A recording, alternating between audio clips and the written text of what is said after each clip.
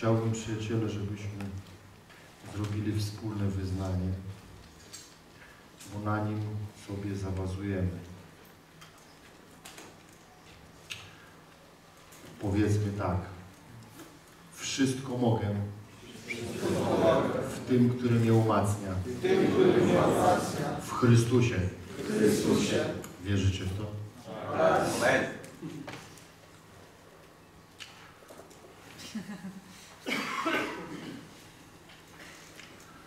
Wiecie, jaki jest Boży plan dla każdego z Was? Nie ma planu.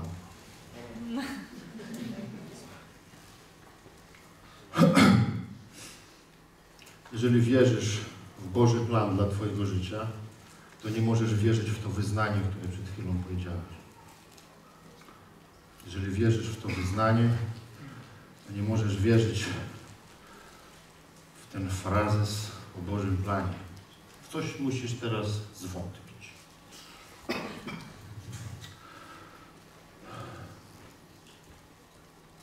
Kto ma konkordację, może znaleźć szybko coś, e, słowo w internecie, bo zapomniałem go zapisać, że będziesz siał nad każdą wodą.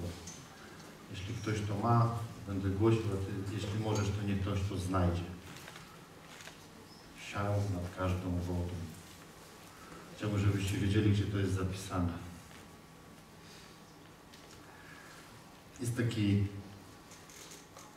właśnie frazes mówiący o tym, że Bóg ma dla Ciebie plan. To słyszałem setki razy. Bardzo szczegółowy plan Bóg ma dla Ciebie. Ludzie chodzą i myślą, jaki On ma plan. Muszę się dowiedzieć. Będę teraz skupiał swoją wiarę. Będę blisko z Panem i się dowiem, jaki to jest plan dla mnie. Mniej więcej 80% Kościoła chodzi jak zbłąkana owca. On nie wiedzą, jaki Bóg ma plan. Po latach oni nie wiedzą, jaki Bóg ma plan. Składają do kupy to, co im się zdarzyło w życiu. I mówią, to był Boży plan. Pan mnie tam pokierował, tam mnie Pan uratował, tam Pan zrobił to, tam Pan zrobił tamto. Tylko to jest kurczę cały czas gadka o przeszłości. Wiecie, ja takich rzeczy, ja takie coś, ja, ja mogę sobie rozpisać to na setkach kartek. Wiecie, bo się fajnie składa rzeczy z przeszłości. Można sobie poskładać w takie różne sytuacje, jakie chcemy. To tak jak Biblię możemy zinterpretować na ile chcemy sposobów. Rozumiecie?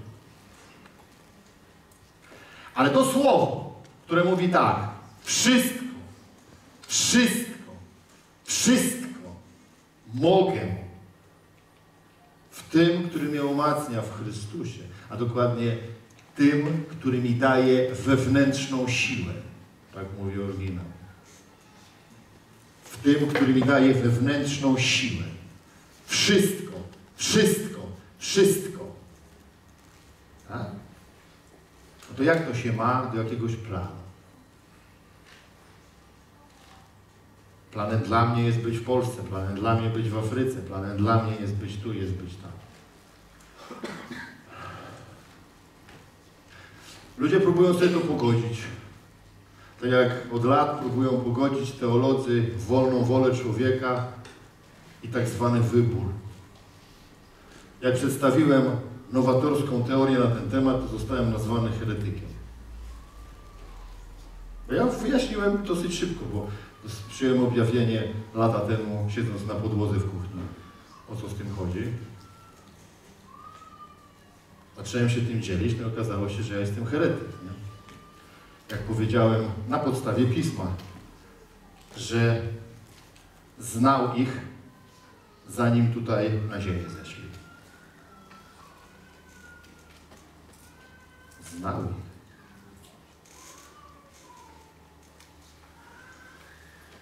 Przyjaciele, chcę dzisiaj mówić do Was o tym, co Wy macie w środku. O tym, co Bóg w Ciebie włożył. O tym powiem jeszcze szerzej. O tym, do czego Ty w ogóle zdolny jesteś. Moje życie jest zbudowane na tym, do czego jestem zdolny. Ktoś mówi, a nie na Chrystusie? No właśnie, to jest właśnie ta mentalność religii. Chrystus do nieba poszedł. Amen?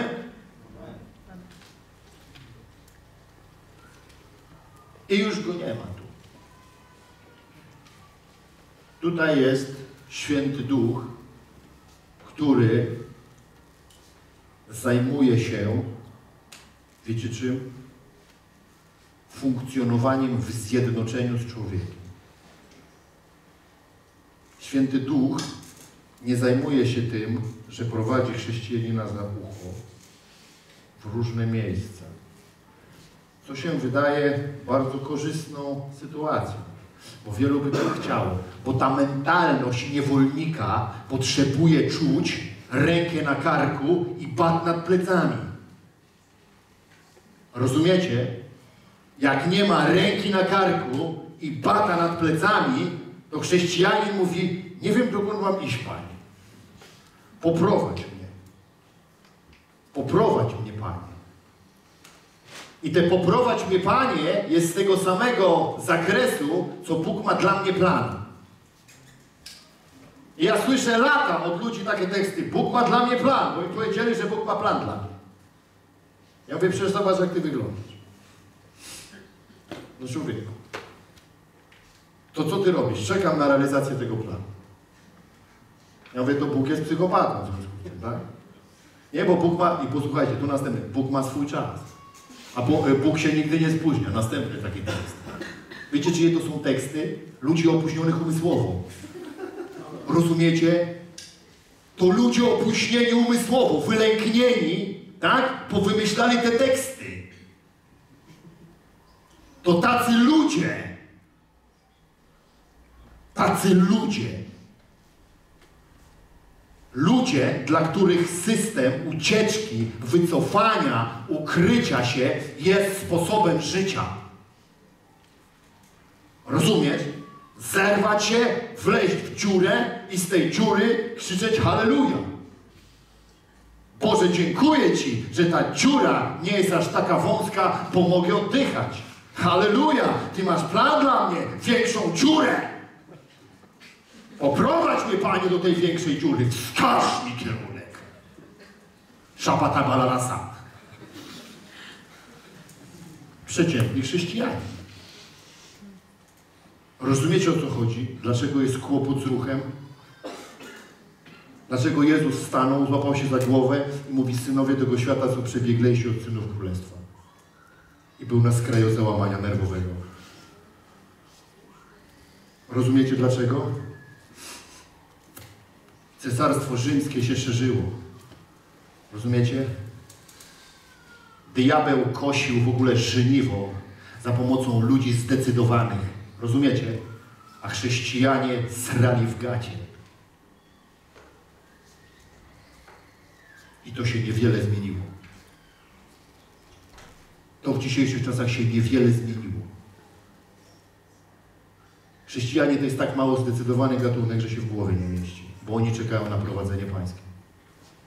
Bo oni mówią, Bóg ma plan dla nas. Ciekawe jaki. Muszę do tego dojść. Muszę się więcej modlić. Muszę pościć. Muszę więcej uwielbiać. Muszę więcej tego. Muszę bardziej się zagłębić w perspektywę proroczą. Muszę iść się zapytać proroka. Rozumiesz? A on mówi tak. Wszystko możesz w tym, który Cię umacnia w Chrystusie. Panie, to dokąd mam iść? Kretyn. Powtarzam. Wszystko możesz. Panie, mogę stać na jednej nodze? Możesz. A mogę na drugiej? Też możesz. A jaki jest plan dla mojego życia? Na prawej stać czy na lewej? Możesz stać na prawej, możesz stać na lewej, możesz stać na rzęsach. Wszystko możesz w tym, który Cię umacnia w Chrystusie. Na czym chcesz stać? Rozumiesz mnie? Zobacz, do czego dochodzimy. Dochodzimy do tego, czy my wierzymy w ten werset. Czy my wierzymy w ten werset? Czy my wierzymy w tą prawdę? Czy my wierzymy w to, że możemy siać nad każdą wodą? Panie, nad którą wodą mam siać? Żeby wyrosło. Czy tam ta nie jest przeklęta ziemia, czy tam nie jest przeklęta, a tamten kawałek nie jest przeklęty, tam mogę siać, tak? Panie, do której pracy mam iść? Do tej pracy, czy do tej pracy, Panie, mam iść? Gdzie mam iść? Jak głęboko wierzę w prowadzenie Boże. Ja wiem, co to jest prowadzenie Boże, tylko to, co wielu ludzi uważa za prowadzenie Boże, w ogóle nie jest żadnym prowadzeniem Bożym. Bo prowadzenie Boże jest ściśle związane z czym? Z decyzyjnością człowieka. Z decyzyjnością. Ja o tym walę w głowy ludzi tyle lat. Chrześcijanin pyta, pokażę wam reakcje duchowe. Panie, co mam robić? A prawdziwy głos nieba mówi, a co byś chciał? A nie co masz robić. Rozumiesz mnie? Jak kiedyś w ogóle usłyszałeś od Boga, co masz robić, tak? To to nie był Bóg. Jak usłyszałeś taki w ogóle coś, tam masz zrobić coś. Nawet jak to zrobiłeś, ci się udało, to i tak nie był Bóg. W totolotku też się udaje ludziom. To, że coś się uda komuś, to znaczy to Bóg. Rozumiesz mnie? Bo w totolotku też się udaje. I nie potrzeba Boga, żeby się udało coś. Ludzie to mówią, bo udało się coś. Jest dwoje ludzi, spotkali się w dziwnych okolicznościach, wzięli sobie dziecko, spłodzili. I mówią, to musi być związek od Pana, bo dziecko powstało. Mówię, wariat, wariatka. A jak mówię, psychol zgwałci kobietę na ulicy i dziecko powstanie, to co to to jest? Pan zaaranżował taki związek? Tak? Pan zaaranżował związek taki? Bo dziecko powstało. Dziecko powstało, tak? Ponieważ jest, ponieważ zadziałała fizjologia. Fizjologia, fizjologia. Jak Bóg uruchomił system fizjologii, to go nie zatrzymuje. Rozumiesz, o co chodzi? To, że powstało dziecko, to żaden dowód na to, że ten związek w ogóle ma sens. Tak? Trzeba myśleć konstruktywnie. Kurczę.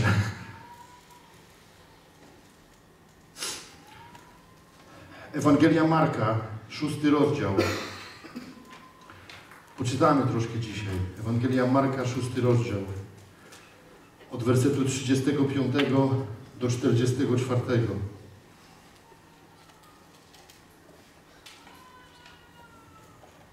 A gdy już była późna godzina, przystąpili do niego uczniowie i go rzekli, miejsce jest puste i godzina już późna, odpraw ich, aby poszli do okolicznych osad i wiosek i kupili sobie coś do jedzenia. A on odpowiadając, rzekł im, dajcie wy im jeść. On był w ogóle taki wyluzowany w tym. Tysiące ludzi, wieczór, wiecie o co chodzi?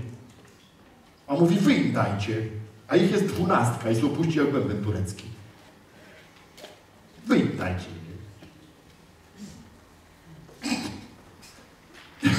Mistrz świata.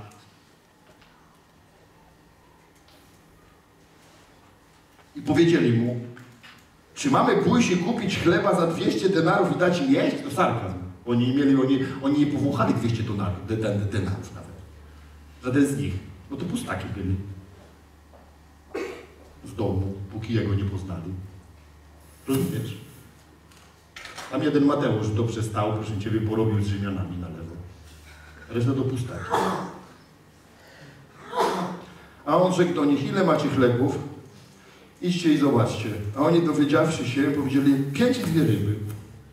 I nakazał im posadzić wszystkich grupami na zielonej trawie, usiedli więc w grupach po stu i po pięćdziesięciu. A on wziął owe pięć chlebów i dwie ryby, spojrzał w niebo, pobłogosławił, łamał chleby i dawał uczniom, aby kładli przed nimi i owe dwie ryby rozdzielił między wszystkich. Jedli wszyscy i nasycili się. Zebrali pełnych dwanaście koszów okruszyn i nieco z ryb. A było tych, którzy jedli chleby pięć tysięcy mężów. Werset 38 jest dla nas bardzo ważny. A on rzekł do nich, ile macie? Ile macie? I to jest, tutaj jest to przetłumaczone jako dwa słowa, natomiast jest to jedno słowo. To greckie słowo tutaj użyte to jest osos. Tu jest użyte słowo posus i oznacza ono dokładnie jak dużo i jakiej wielkości. O co chodzi? Jezus od razu w nich wjeżdża z takim tekstem. Jak dużo towaru macie. Jaka to wielkość? To nie jest pytanie o to, czy tam jest dwa, czy trzy, czy cztery, tylko to, te posos, to jest informacja o tym, że oni mają ogromną ilość czegoś, tak? I teraz on chce, żeby oni określili, jak wielka jest to ilość. Coś ci powiem o Bogu. Bóg widzi w tobie potencjał, który włożył. On nie widzi w tobie tego, co ty oglądasz swoimi pesymistycznymi oczyma wokół. On tego nie widzi. On mówi do ciebie tak. Jak wiele masz, jaką wielkość masz. Czy w ogóle wiesz, że masz wiele? Czy wiesz, że masz bardzo wiele? Oni, pesymiści, przychodzą i mówią dwa, tam pięć chlebów, dwie ryby. Oni widzą pięć chlebów i dwie ryby. Ale nie widzą zasady, która stoi obok. Kto stoi obok? Jezus. Tak? Zasada. Wszystko mogę w tym, który mnie umacnia w Chrystusie. Oni nie znają zasady, która mówi tak. Jeśli Chrystus stoi przy was, amen, to macie full. Byle Chrystus tam stał. Jeśli Chrystus jest, to jest full. I teraz zobacz, gdzie jest twój wzrok. Czy ty widzisz full, czy nie widzisz full? Czy ty to, co masz, określasz jako potężna ilość, czy też jako mikroskopijne, jako mikroskopijna ilość, czy też w ogóle ilość, która wystarczy, aby przewegetować?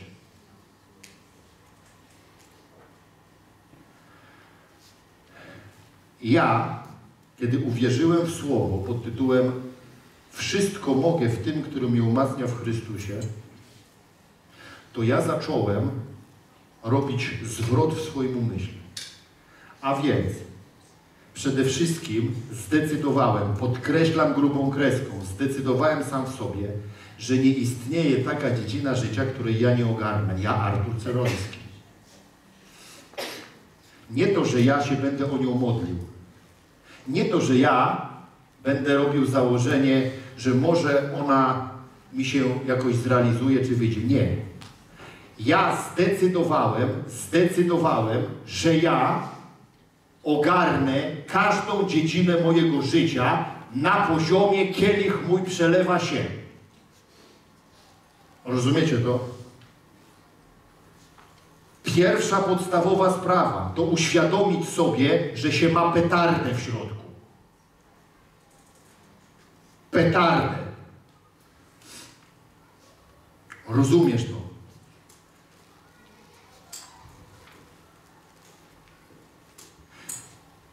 Jeżeli ja idę coś zrobić w życiu, to nie istnieje założenie próby. Spróbuję, zobaczę. No nie. No jak? Ja idę to zrobić. Dlaczego? Bo we mnie jest Bóg. I ja wszystko mogę. Wszystko mogę. Ja nie idę na siłownię się nie pytam, Panie Boże, czy ja mogę podnieść 130 kg dzisiaj? Przepraszam, bo mam taką w ogóle sprawę, czy ja ewentualnie mógłbym. Rozumiesz, o co chodzi? Przecież ja się nie pytam Boga. Ja się w ogóle Boga nie pytam, czy on na siłownię chodzić. Ja się w ogóle Boga nie pytam. Skończyłem z tym haniebnym procederem jakiś czas temu. Dlaczego skończyłem z tym? Dlaczego? Bo wszystko mogę w tym, który mnie umacnia.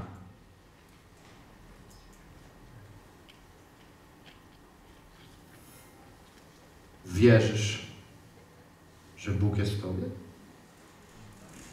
To musisz też uwierzyć, że wszystko w Nim możesz. Bo jak nie, to będziesz miał zwarcie w środku ciągle. Bóg jest we mnie, a nie do końca mogę. No to teraz muszę wymyślić teologiczny związek do tego. To znaczy, że nie ten czas, nie ta pora. Rozumiesz o co chodzi? A może się łupił? Wiadomo, Jezus lubił się na Mamy biblijne dowody. Jeżeli wierzysz, że Bóg jest w Tobie, to musisz wierzyć w to, że wszystko w Nim możesz. Wszystko w Nim możesz. I nie musisz zadawać tysięcy głupich pytań. Czy mogę to, czy mogę tamto. Panie, czy ja mogę zmienić pracę? Ale co mi to obchodzi? Jak to, co Cię to obchodzi, Panie? Jesteś moim Bogiem. No tak, no i dałem Ci wszystko, co jest Ci potrzebne do życia i pobożności. No. Co chcesz jeszcze? Dałem Ci Ducha Świętego. Ducha Świętego Ci dałem. Dałem Ci mojego Ducha. Ducha, którym stworzyłem ziemię. A Ty się pytasz, czy możesz zmienić pracę. Ty się pytasz, czy możesz w ogóle gdzieś pójść. Masz Ducha, którym stworzyłem ziemię. A ty się pytasz, czy możesz wyjść z tego problemu?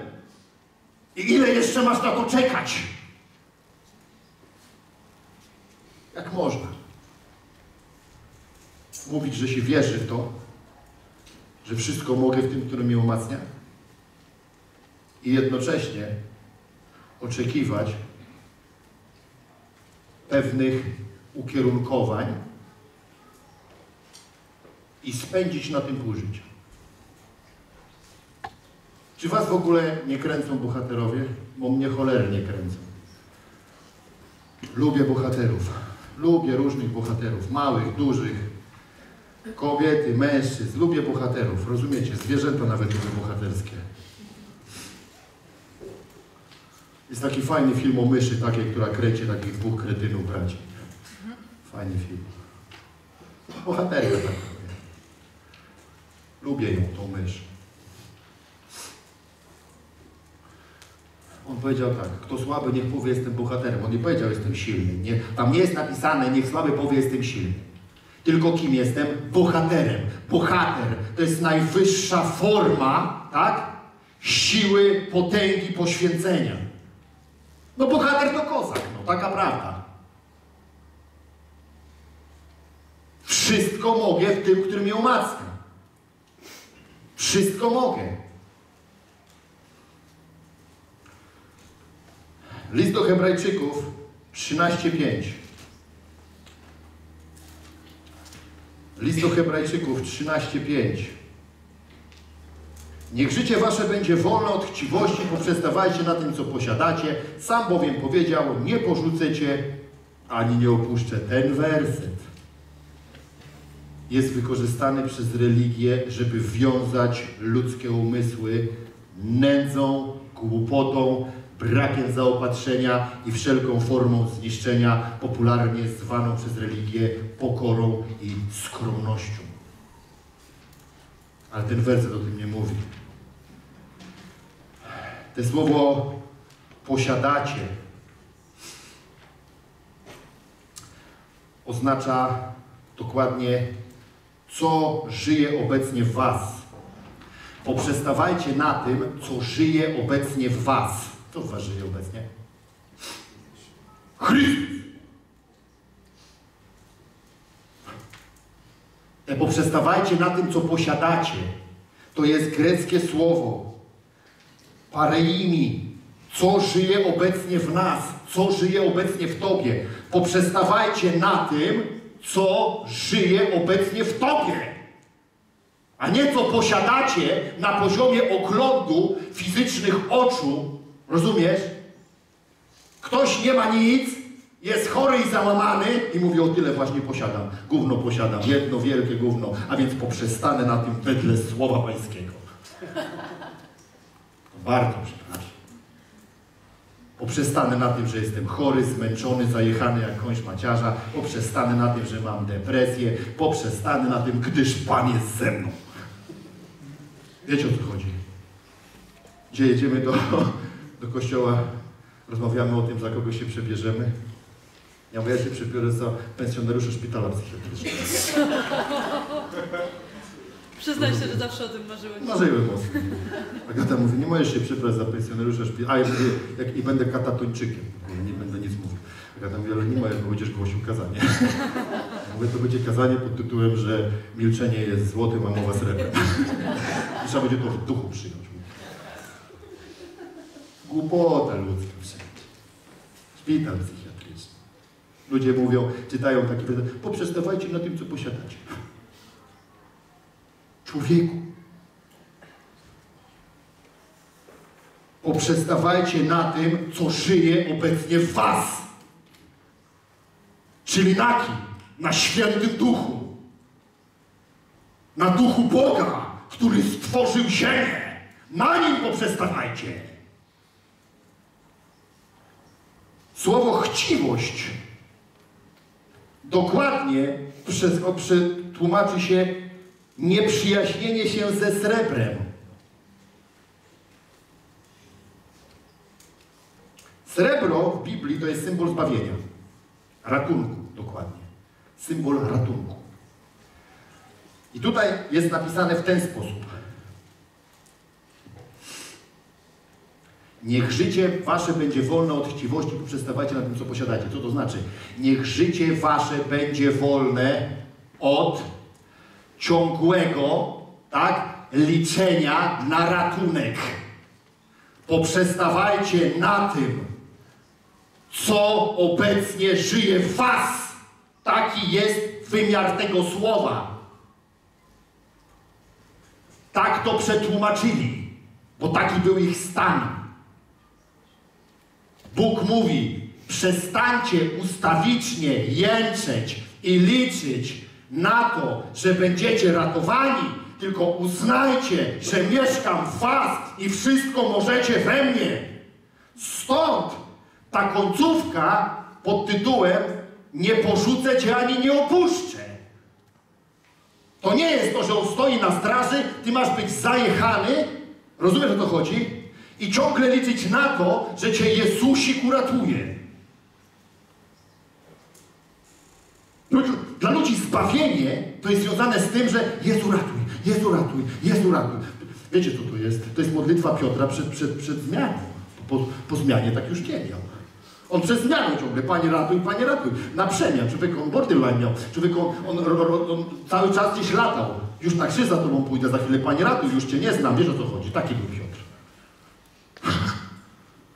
Ale potem już nie było Panie ratuj. Potem się Piotruś zmienił, amen? Bo kto zamieszkał w Piotrusiu? Święty Duch!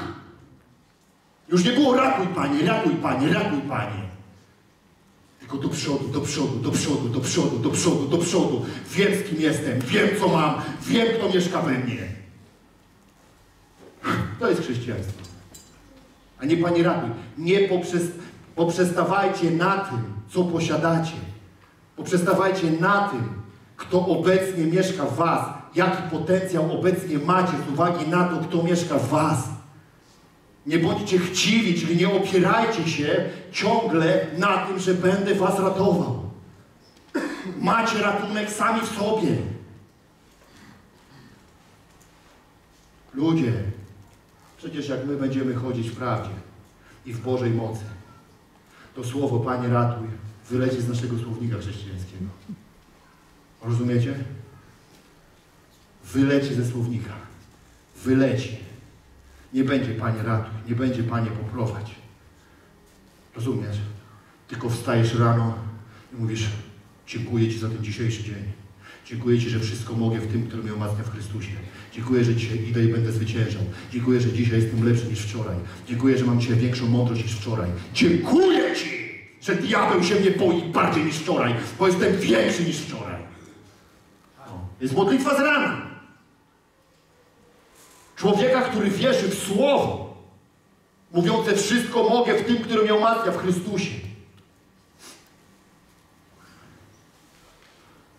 W Ciebie włożył chęć, możliwości, wytrwałość, obronę i przekaz.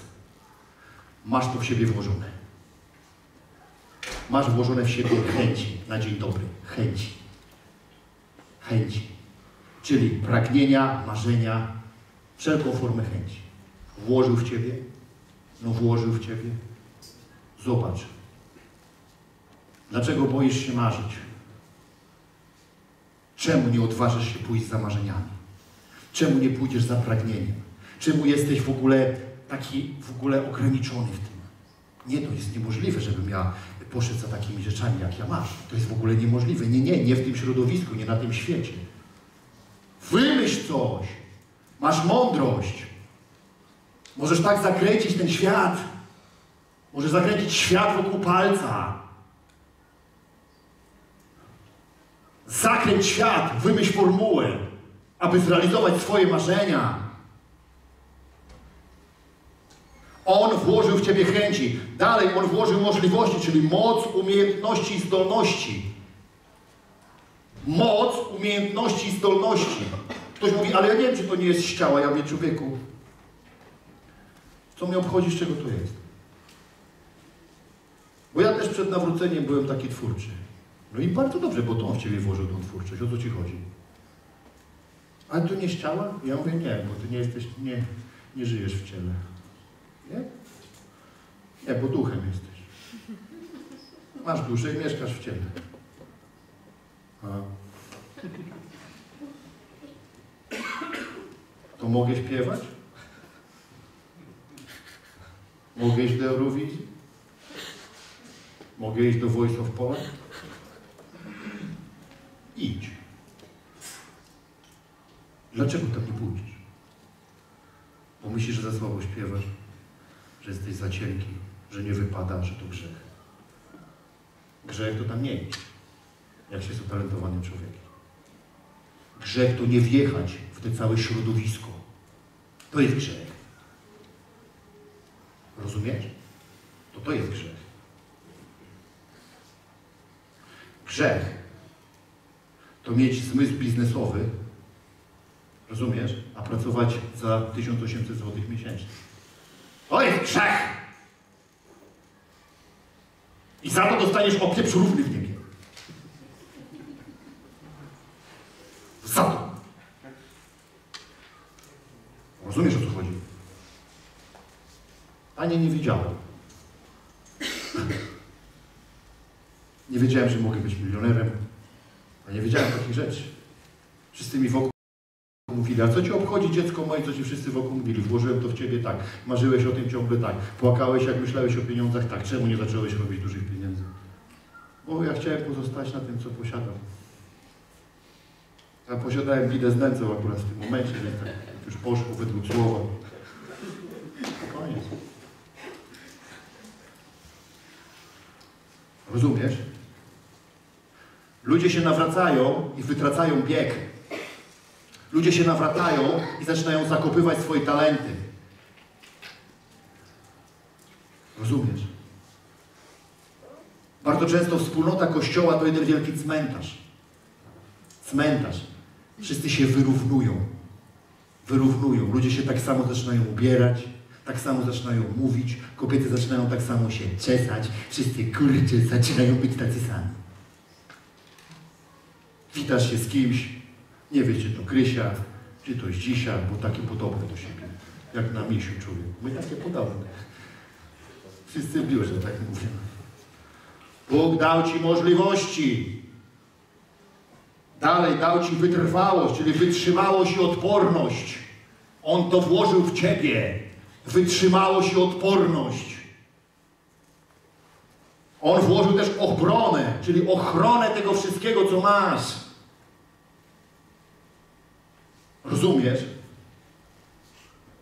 Jak ja bym pragnął tego, żeby chrześcijanie zaprzestali tych krzyków do Boga ratunku. Ratuj mnie. Pomóż mi. Ratuj i pomóż. Kurczę, my nie jesteśmy niepełnosprawni.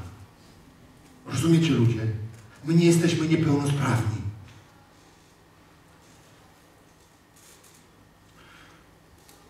Mamy zagadką dwoje dzieci. Starsza jest jeszcze mała, Wiktor jest 10 lat starszy. Wiecie, poszedł do pracy. Teraz od grudnia. Włożyliśmy w niego jako rodzice wszystko, co mogliśmy włożyć. Widzimy, jak to procentuje. Rozumiecie? Ale o co chodzi? Im większe ma wyzwania w życiu, tym mniej staje się dzieckiem. Wiktor coraz mniej przychodzi i czegoś chce. Zauważyłem to na przestrzeni jego wzrostu. Im bardziej wzrastał wiekiem i rozwijał się, tym mniej chciał. Wiecie czemu? Bo to jest naturalna rzecz, że człowiek sobie radzi sam. Amen? A my myślimy całe życie, że Bóg sobie będzie radził nas. Co za odpałowa ekipa. Naturalnie człowiek, przez Boga stworzony zaznaczam, zaznaczam, że przez Boga naturalnie człowiek stworzony z wiekiem dojrzewa i bierze odpowiedzialność i coraz mniej liczy na innych. I to jest przez Boga stworzona funkcja w mózgu. Oto Bóg stworzył mózg. Ale człowiek, kiedy się nawraca, to mówi: Nie, nie, nie, nie, nie, nie, nie. Te funkcje nas nie obowiązują. Nas obowiązują takie funkcje, że do końca naszego zasmarkanego życia w Chrystusie będziemy ciągle liczyli na to, że Ojciec nam coś załatwi. I to nazywamy wiarą. I my tam do Niego przychodzimy, i my tam Go prosimy, i my tam wołamy ratunku, i On nas ratuje, i On nas pomaga, i On nas prowadzi. Ludzie, żebyście wy wiedzieli, ilu chrześcijan diabeł prowadzi przez te modlitwy. Przecież to są modlitwy niewiary. Ratunku, pomóż. Weź mnie, przenieś, pod pachę, tu mnie weź, tu jestem inwalida, tu mnie to dorosły człowiek, studia skończył, jedne, drugie, dziecko ma ciebie, a on siedzi, pomóż, ratunku, nie radzę sobie, nie radzę, to mnie przygniata, tylko nie w czułe miejsce, tylko nie prosto w twarz, tylko nie w serce. Co to w ogóle jest? Przecież to kurczę jakieś pedalstwo. Ludzie. To duch homoseksualny. Rozumiecie? Duch homoseksualny się nie zajmuje tym, że tam dwóch facetów idzie do łóżka ze sobą. Tam to, to jest w ogóle szczyt tego jakiejś tam gałązki. Duchy homoseksualne powodują, że ludzie przestają decydować. Decydować, rozumiesz? Ładują się pod różne układy. A chrześcijanie sobie Boga stawiają i mówią, tyś nas obrońca. Broń nas. Kurczę, przed czym? No, proszę, złóżmy to logicznie. Przed czym On nas ma bronić? Nas, którzy w miejsce Chrystusa poselstwo sprawujemy. Proszę bardzo. Przed czym ma nas bronić Chrystusów? Przed czym on tego Chrystusa bronił? Gdzie tam jest napisane, że on go obronił przed czymś? Jedna rzecz, przed którą on go obronił. Wiecie, nie? Nie ma takich rzeczy. Nie ma? Wiecie czemu? Bo Chrystus szedł jak przecinak do przodu. Wiedział jedną rzecz, że nawet śmierć go nie zatrzyma. Jezus Chrystus miał wmontowany w siebie taki moduł. Idę do przodu i śmierć mnie nie zatrzyma. I facet wyszedł z grobu po trzech dniach. Ktoś mówi, Bóg go podniósł. Ja mówię, nie, przez wiarę wyszedł. Może to burzy Twoją teologię. Chrystus wstał z grobu przez wiarę. On wierzył, że śmierć go nie zatrzyma. On wierzył w to. On w to wierzył. On wierzył w to. Rozumiesz? On w to wierzył. To był tytan wiary. Tytan wiary. Rozumiesz? Dlatego mówię do ludzi, studiuj Chrystusa. To był tytan wiary. Ten, który się na niej wzorował najmocniej, to był Paweł. Rozumiesz? Stąd tak mocno przez Pawła przejawiał się Chrystus w różnych sytuacjach. Żeby się Chrystus mógł przejawiać przez nas, to musimy przyjąć mentalność Chrystusa. Mentalność Chrystusa, ludzie.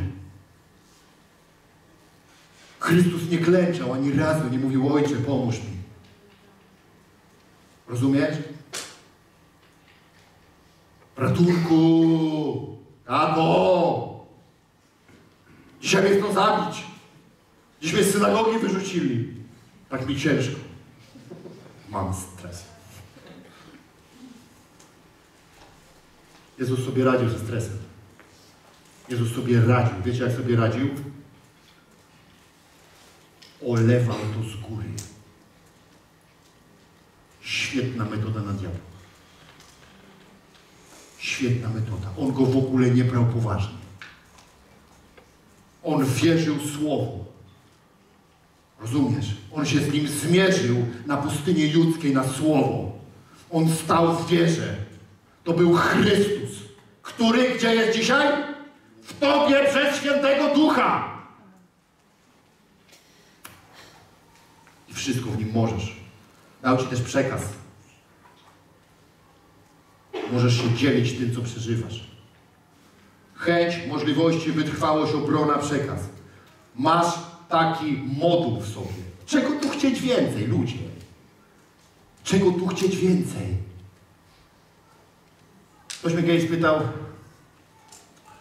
na przykład, jak to jest możliwe, że ty pracowałeś i nigdy ci komornik nic nie zabrał? Ja mówię, no bo ja się nie zgodziłem na to, żeby mi zabrał komornik. Jak to się nie zgodziłeś? Ja mówię, no nie. Raz w życiu miałem rozmowę z komornikiem, raz w życiu. Powiedziałem komornikowi, my jeszcze raz przyjeżdżamy do domu. Z nią, taką był komorniczką mamą, co się tam uczyła bycia komorniczką. Mówię, jeszcze raz tu przyjdziesz, to się zwolnię z pracy i nigdy nie dostaniesz ode mnie ani złotówki. Mówię, nie wiem, czy nie rozumiesz. On mówi, to my wytoczymy panu sprawę. Ja mówię, posłuchaj, nigdy nie wytoczysz mi żadnej sprawy. I on wyszedł. I się nie pojawił nigdy. Nigdy się więcej nie pojawił komornik. Wiesz dlaczego? Bo się nie zgodziłem na komornika. Sobie nie życzę na przykład. Tylko to nie chodzi o to, że ja to zrobiłem na zewnątrz odważnie, tylko ja w środku, w środku, w sobie, chcę, żebyś to zrozumiał, byłem bardzo mocno zintegrowany. Ja w ogóle, wiem, to nie mnie nie dotyczy, to mnie nie obchodzi, to, nie, to, nie, to w ogóle nie moje, to nie mój komornik, nie moja komorniczka, nie moja sprawa, nie moje długi. Tak? Ja w ogóle uwierzyłem jak kupi, że jak się narodziłem z Bożego Ducha, tak, to moje długi się skończyły. Dla mnie. Przestałem być odpowiedzialny. W ogóle, posłuchaj, jeżeli ja przestałem być odpowiedzialny za, za konsekwencje moich grzechów, amen, to przestałem być odpowiedzialny za wszystkie konsekwencje moich grzechów. Za wszystkie, wszystkie, wszystkie. Jak ja powiedziałem u Trzyski w programie, że ja nie mam wyrzutów sumienia, że zabiłem chłopa i ozierodził sześcioro dzieci, to myślałem, że mnie zliczył tam. Rozumiesz? Oni wstawali z miejsc. Jak Pan może? Ja mówię, po prostu. Chrystus za mnie umarł. I ja naprawdę w to wierzyłem. I ja w to wierzę. Dlatego ja się w ogóle nie uważam za grzesznika. W ogóle ja się czuję tak, jakbym nigdy nie zgrzeszył. Ja jestem czysty jak łza samego Boga. Ja się tak czuję w środku. Stąd nie jestem potępiony, nie przychodzi diabeł, który mówi, diabeł mnie potępia. Ja mnie nie potępiam. A mnie nie. Po prostu nie. Nie mnie.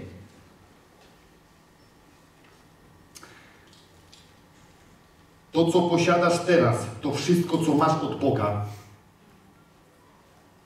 To, co posiadasz dzisiaj, teraz, w tym momencie. To wszystko to, co masz. Nic więcej nie dostaniesz. A wie dlaczego nie dostajesz nic więcej? Bo masz wszystko. I modlitwy, Panie, chcę, daj mi tamto, daj mi tamto, daj mi tamto, to to są głupie modlitwy.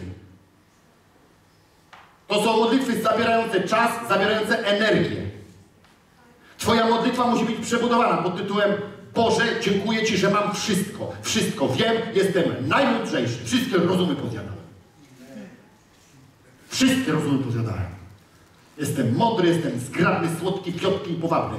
Takie musi być Twoje wyznanie i podejście do siebie samego. Mam wszystko, wszystkie możliwe umiejętności potrzebne mi do życia i pobożności. Gdziekolwiek się nie ruszę, tam osiągnę sukces, bo Ty jesteś we mnie i mnie wzmacniasz. Dajesz mi wewnętrzną siłę. Ja wierzę w swoje talenty, ja wierzę w swoje zdolności, ja wierzę w swoje możliwości. Ja nie podważam tych rzeczy, nie podważam ich, nie siedzę i mówię, czy to na pewno jest z Boga, co ja mam? A to na pewno jest takie? A może to jest naturalne? A natura skąd jest? No skąd jest natura? Ze sklepu z zabawkami? Ludzie. No skąd jest natura? My, nam się pochrzaniła teologia. Rozumiecie? My próbujemy wyciągnąć jakieś takie elementy, które cholernie trudno wyciągnąć. Ktoś ma talent jakiś i się zastanawia, czy to jest od Ducha Świętego, czy to nie jest od Ducha Świętego. Kto ci dał talent? Diabeł? Diabeł ci dał, diabeł ci dał talent, żeby ci życie poprawić? Żeby cię uszczęśliwić, żeby ci otworzyć możliwości. Diabeł ci to dał? Diabeł? Ty uważasz, że kto to jest diabeł? Dobry wujek?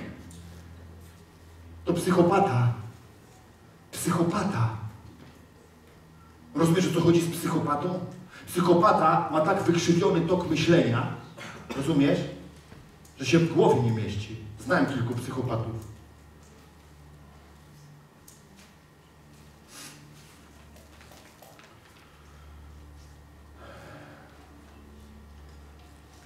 Ewangelia Mateusza. Przeczytamy dwa fragmenty jeszcze.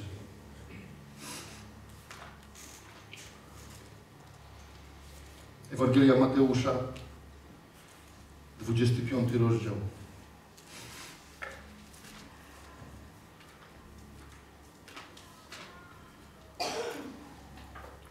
Od 14 do 30. Będzie bowiem tak jak z człowiekiem, który odjeżdżając przywołał swoje sługi i przekazał im swój majątek. Co przekazał im? Swój majątek. Czyj? Swój. To był jego majątek. Jego majątek. Wszystko, co posiadasz, to jest jego majątek. Jego. Wszystko, co posiadasz. Wszystko, co posiadasz. Jak umiesz dobrze drapać po plecach swoją żonę czy męża, to to jest majątek z nieba.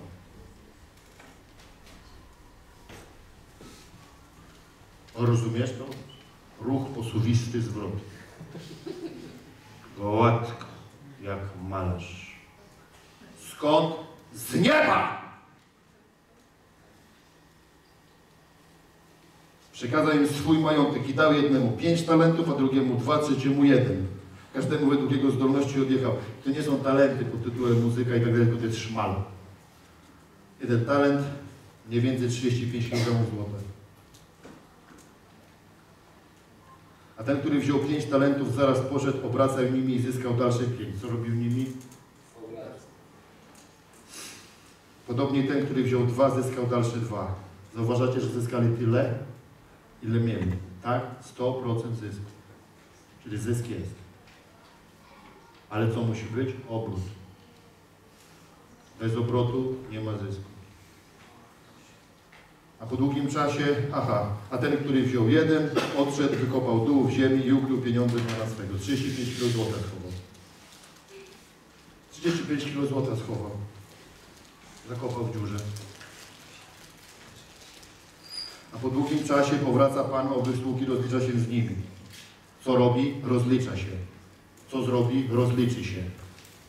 Z kim? Z Tobą i ze mną. Osobiście i prywatnie, bo osobiście i prywatnie dał. Czyli majątek swój. Co zrobi? Rozliczy się. I przystąpiwszy ten, który wziął pięć talentów, przyniósł dalsze pięć talentów i rzekł, Panie, pięć talentów mi powierzyłeś, oto dalsze pięć talentów zyskałem. Rzekł Pan jego, dobrze sługo, dobry i wierny. Na tym, co małe byłeś wierny, wiele Ci powierzę. Weź do radości Pana swego. Kilka uwag.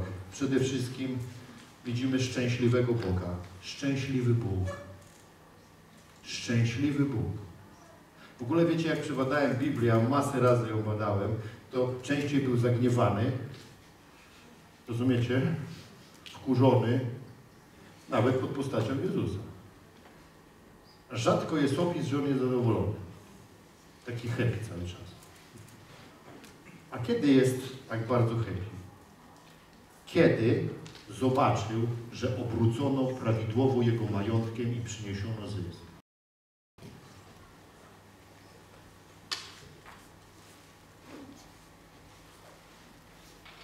Sługo dobry i wierny. Tytuł osoby, która obróciła prawidłowo potencjałem, który otrzymała. Sługa dobry i wierny. Kto to jest dobry i wierny Boży człowiek? Ten, który obraca potencjałem włożonym przez Boga w jego życie. Oto dobry i wierny.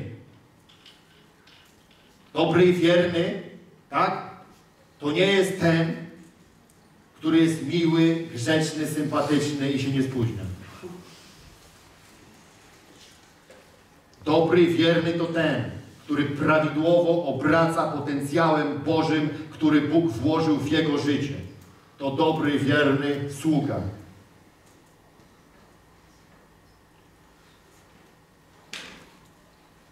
Na tym, co małe byłeś wierny, wiele Ci powierzę. Małe.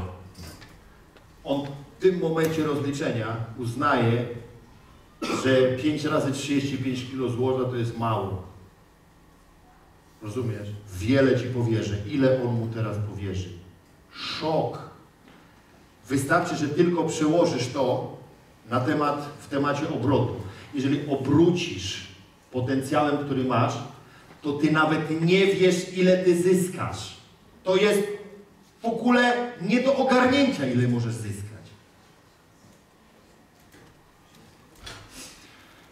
Rzekł Pan jego, mhm. potem przystąpił ten, który wziął dwa talenty i rzekł, Panie, dwa talenty mi powierzyłeś, tu dalsze dwa i tak dalej. Wreszcie przystąpił ten, który wziął jeden talent i rzekł, Panie, wziąłem to, wziąłem, yy, wiedziałem o Tobie, żeś człowiek twardy i że żniesz, gdzie nie siejesz i zbierasz, gdzie nie, rozsypy, gdzie, gdzie nie rozsypujesz. Zobaczcie przede wszystkim, co jest z tym człowiekiem. Ma zły obraz Boga. Dla niego Bóg to nie jest miłosny, dobry, mądry Bóg. Tylko on się boi. Co definiuje tego trzeciego człowieka? On się boi. Dlaczego nie obraca? Bo się boi. Boi się, że zgrzeszy, boi się, że upadnie, boi się, że się pomyli, boi się, że zbłądzi. Panie, nie ruszam się z dupą swoją, bo się boję, że zbłądzę. To się nie ruszam, to posiedzę. Lepiej być świętym, siedzącym, tak? Niż grzesznikiem, u który gdzieś się ruszy. A ja wolę zgrzeszyć i się ruszyć. A ja wolę upaść i pobiec. A wiesz dlaczego? Bo ja wierzę w krzyż Golgoty. I w ogóle dla mnie grzech czy upadek mojej osoby nie jest żadnym problemem. Ja się w ogóle nie boję upadku. Tylko człowiek nie bojący się upadku wstanie i będzie biegł. Czy oni nie ryzykowali? Obracając tym kapitałem? Ryzykowali, bo ryzyko jest wpisane w biznes. Amen? Nie ma czegoś takiego, że się ryzyko nie pojawia. Każdy z tych chłopaków obraca kapitałem i jest ryzyko załamania rynku, tego, że napadnie ich mafia rzymska czy jaka inna cholera. Zgadza się? Ale co robią? Idą do przodu i obracają. Amen? A ten co robi? Zapobiegliwy, wylękniony, stonowany, skorony i cichy. Robi dziurę w ziemi, zakupuje towar. I przychodzi i mówi, wiedziałem, że jesteś srogi, a więc na wszelki wypadek nie chciałem Ci się narazić. Oto to, co mi dałeś, oddaję Ci z powrotem. I tu jest ząg.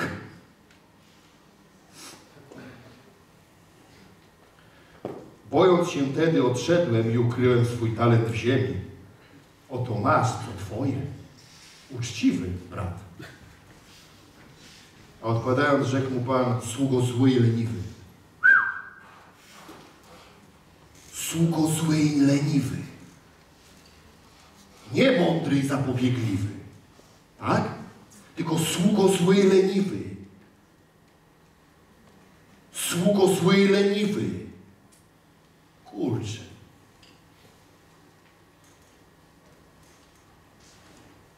Wiedziałeś, że żnę, gdzie nie siałem i zbierałem, gdzie nie rozsypywałem. Sarkazm kolejny.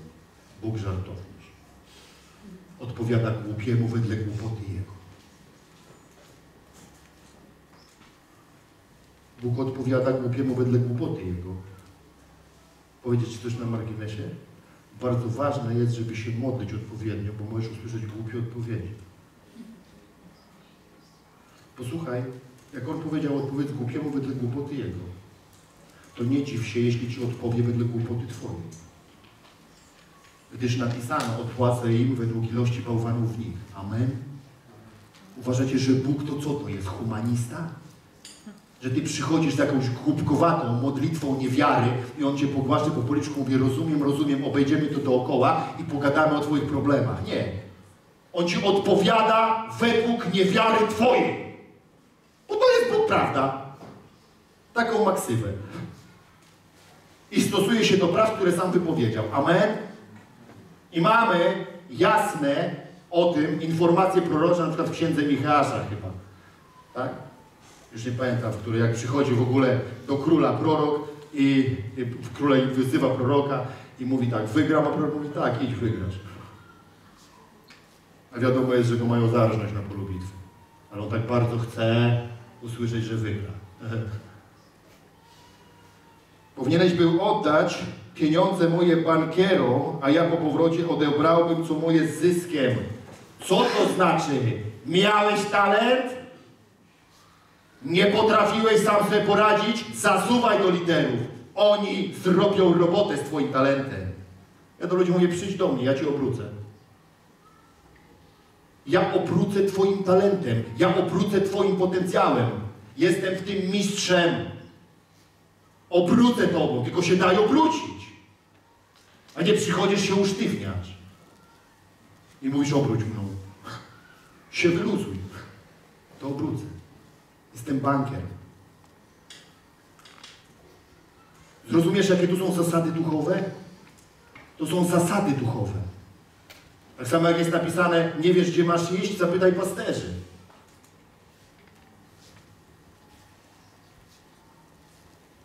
Weźcie przed od niego ten talent i dajcie temu, który ma 10 talentów. Koniec. O. Czysta sprawiedliwość Boża. Do widzenia. Ty, jakie to jest nieprzyjemne. O jakie to nieprzyjemne jest. Każdemu powiem, kto ma, będzie dane i obfitować będzie, a temu, kto nie ma, zostanie zabrane i to, co ma. I to mówi nasz Bóg, zaznaczam. Chcę wam pokazać, że w ogóle rzeczy święte są inne niż te, które pokazuje nam diabeł. W ogóle, rozumiecie mnie? To, to nie działa w ten sposób, jak nas, naucza, jak nas nauczono na tym świecie. To, co posiadasz, to, co Bóg w Ciebie włożył, to jest potęga. To jest Twój kapitał. Na teraz i na wieczność. Twoje talenty, Twoje uwarunkowania, Twoje zdolności, Twoje możliwości, Twoja uroda. Każda rzecz. Rozumiecie? Każda rzecz. Każda rzecz. Ktoś mówi, wiesz, to chodzi tylko o sprawy duchowe. Ja mówię, nie, to nie chodzi o sprawy duchowe, to chodzi o Ciebie, o Ciebie, o Ciebie. Duch, dusza, ciało jesteś, rozumiesz? Weź się zorganizuj jakoś. Ogarnij się. Jest na przykład jakaś ładna kobieta, ona robi wszystko, żeby być brzydka. No tak się w ogóle zrobi, żeby była brzydka. Podobna zupełnie do nikogo. Ona się nawróciła. Rozumiecie? Ona się teraz nawróciła i ona teraz jest lady z nieba i ona w ogóle nie musi się nikomu podobać. Dał Ci Bóg urodę? Dał. Podkreśl urodę. Dlaczego? Bo Ty mu oddasz chwałę. A tam jest napisane, żeby włosów nie trefić. Ja mówię, człowieku, nawet nikt nie wie, co to jest trefić. Zapomnij o tym. Byś poszedł do fryzjera i się powiedział, proszę mnie wytrefić. Rozumiesz? Mnie pytałem, dlaczego nosisz obcisłe spodnie? Ja mówię, ja mam ładne nogi. To jest proste jak drut. Proste jak drut, dlatego noszę takie spodnie. Bo mam ładne nogi. Bo takie nogi mi dał Bóg. I się tym szczycę. Bo szczycę się moim Bogiem. Bo oddaję Mu chwałę każdym fragmentem swojego życia. Moim duchem, duszą i ciałem. Każdym elementem potencjału, który włożył we mnie. Wszystkim mu oddaję chwałę. Darami Ducha Świętego mu oddaję chwałę, osobowością mu oddaję chwałę, wszystkim mu oddaję chwałę. Bo w mojej Biblii jest napisane tak, czyli tak samo, jak używaliście członków waszych na służbę niesprawiedliwości, takich używajcie na służbę sprawiedliwości. To używam. Niech się patrzą i niech mówią, wow, ale on ma nogi. Ja mówię, tak, bo Duch Święty mnie prowadzi właśnie w taki sposób. Dał mi talenty, możliwości, umiejętności, wiem jak o siebie zadbać. I realizuje się w moim życiu słowo, że człowiek dobry samemu sobie czyni dobrze. Przypowieści Salomona. Rozumiecie? I tu nie ma czegoś takiego, że my gdzieś znajdziemy sobie takie, w ogóle o wiesz, bo tu coś tam w duchu się dzieje, bo to jest nieczytelne dla tego świata. Ja pamiętam, jak dzisiaj głosiliśmy zagadkę Ewangelię, staliśmy tam lata temu na, e, no, przed, przed Złotymi Tarasami. Ja stałem na koszu na śmieci, głosiłem, byłem bardzo dobrze ubrany i stanęły takie dwie kobiety tam i rozmawiały ze sobą. I mówią, co on mówi w ogóle? W ogóle niestworzone rzeczy. A druga mówi, no ale zobacz jak wygląda. Mówi, to musi być normalny człowiek. I stały i czego słuchały Ewangelii. Dlaczego one słuchały Ewangelii? Bo byłem dobrze ubrany. Rozumiecie? A jakbym wyglądał jak jakiś szczur spod sklepu, rozumiesz? Ja naprawdę, kiedyś taki stał w ogóle, dwóch takich ludzi widziałem w życiu. Jeden stał yy, pod, obydwaj pod metrem głosili lata temu. Jeden z taką brodą, długą, taki, i on, to była taka ta frakcja, co tylko uważa, że Biblia Gdańska jest namaszczona. Znaczy, że najbardziej namaszczona. I on z niej głosił i tam właśnie głosił, jak ci jest słowa macica winna i tak dalej. W ogóle, wiesz, takie rzeczy głosił. A drugi chodził w takiej, taki miał wąs cienki, taką krótką kurtkę, taką ze skaja i takie spodnie 20 lat do tyłu. Rozumiesz? Jak pedofil wygląda. On chodzi z taką dużą Biblią, ludziom Ewangelię opowiada i dziwi się, że dzieci uciekają. Jak mogą dzieci nie uciekać, jak tymi ludźmi się dzieci straszy. Fajnie, byliśmy na plaży, zagadką leżymy, a ta matka mówi, dzieci szły tam w krzaki zrobić siku, a matka mówi, tylko uważajcie, namówi pana Teofila. Teofil nie złapał. Przecież my całym swoim jestestwem prezentujemy Boga. Amen? Amen. Ludzie, wszystkim co mamy, Twoje talenty, chcenia, które masz włożone w siebie, to jest to, co Bóg Ci dał. Nie wolno Ci się tego bać. To też spowoduje, że nie będziesz się do nikogo porównywał, nie będziesz zazdrościł innym, nie będziesz patrzył w kościele na innych ludzi, a bo ten jest taki, bo ten ma pięć talentów, a ty masz swoje dwa. Oprócz dwoma zrobisz biznes. Ale mam jeden, co mam zrobić? Przyjść do mnie. Ja wiem, jak obrócić 35 kilogramami złota. 5-6 milionów złotych. No, a ja sobie dam radę. Będzie, że go Bartek mi pomoże. To nie. Chodzi o to, żebyście rozumieli, na czym polega rzecz. Masz włożone marzenia, pragnienia, chcenia, masz siłę świętego ducha do zrealizowania, masz możliwość do tego, aby wytrwać, przetrwać trudne momenty, potrafisz się obronić i potrafisz też to przekazać później. Rozumiesz, co ty masz w sobie? Taki masz potencjał. I to jest wszystko, co masz od Boga i nic więcej nie dostaniesz. Bo po co ci coś więcej, jak ty w ogóle masz wszystko. Masz wszystko. Wszystko. Wszystko. Ludzie, wiecie ile macie darów, które jedynie nie działają dlatego, że są nieużywane? Tylko dlatego. Wielu z was tylko dlatego nie uzdrawia chorych, bo nie uzdrawia chorych. I to jest jedyny powód. Gdybyś zaczął systematycznie uzdrawiać chorych, to byś uzdrawiał chorych. Nie ma bata. Gdybyś sobie rozpisał na karteczce, na przykład tak, tak kocham ludzi, że będę ich uzdrawiał. Teraz się zajmę uzdrawianiem ludzi. Rozumiesz? I systematycznie byś zaczął chodzić do szpitali, uzdrawiać ludzi, to będziesz uzdrawiał ludzi. Tak będę kochał ludzi. Ja tak, Panie, kocham ludzi, że ja ich uzdrawiam, bo ja nienawidzę chorób y, i to wszystko. Gdybyś zdecydował, że będziesz ewangelizował, to byś ewangelizował. Gdybyś zdecydował, że będziesz uczył, to byś uczył. Gdybyś zdecydował, że będziesz przytulał, to będziesz przytulał. Rozumiesz o co chodzi? Nie, nie wiem, co tam chcesz robić.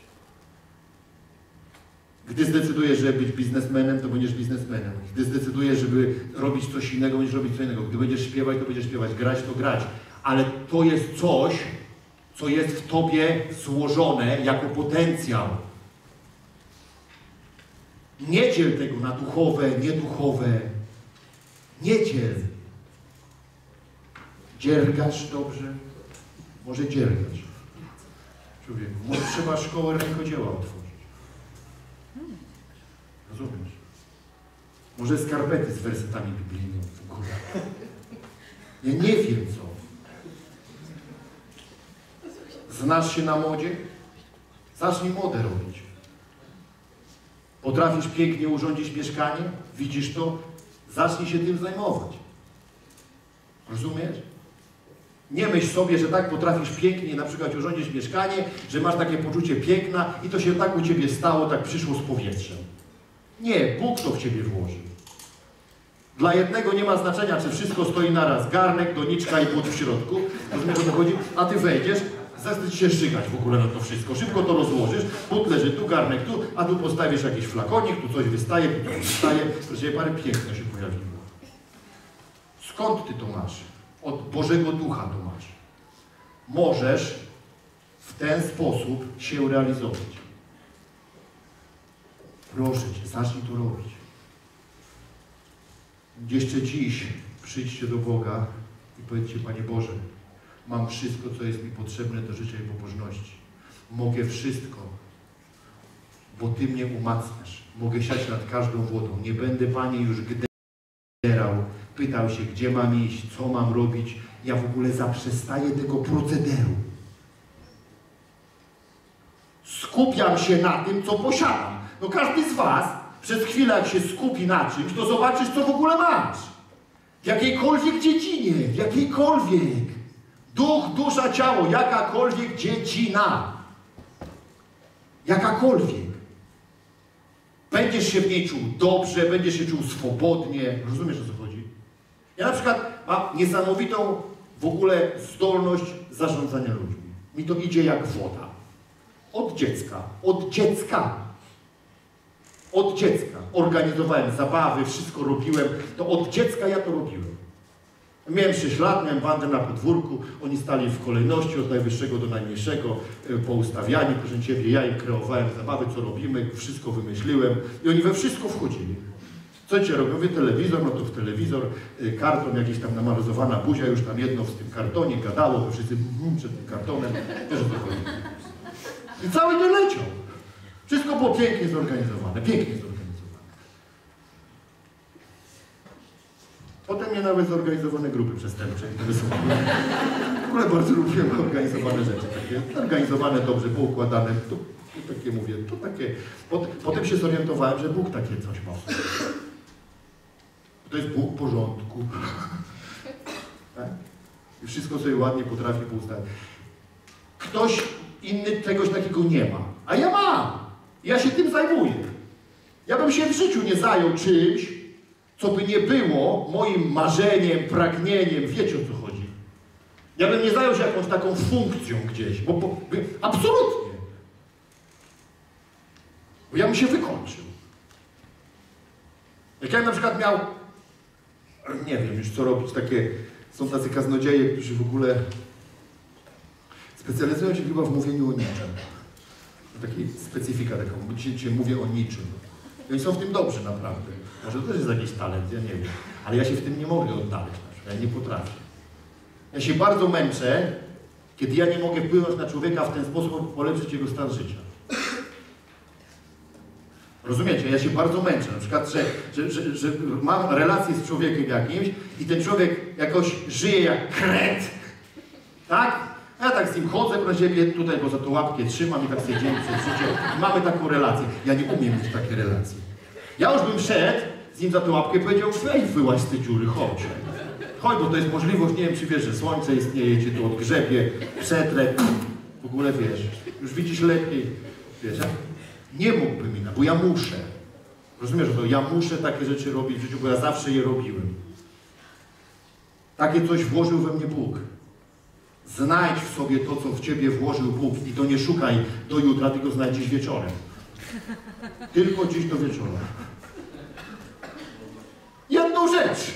Od tego się zaczyna. Jestem w tym dobry, jestem w tym dobry, jestem w tym dobry. A potem co? Zacznij to robić. Już nie pytaj go tysiąc razy. Tylko to zacznij robić. To czasami może być szaleństwo. Rozumiesz? Ale to będzie od Niego. Wstańmy proszę. Ojcze, dziękuję Ci za ten czas. Dziękuję Ci za Twoje słowa. Dziękuję Ci, że Twój święty Duch działa w nas, że Twoje słowa w nas pracują. Duchu Świętym, my niczego z tego nie stracimy. My przyjmujemy całe Twoje słowo jako Twoje słowo. I my wydamy stukrotny plon Ojcze. Amen.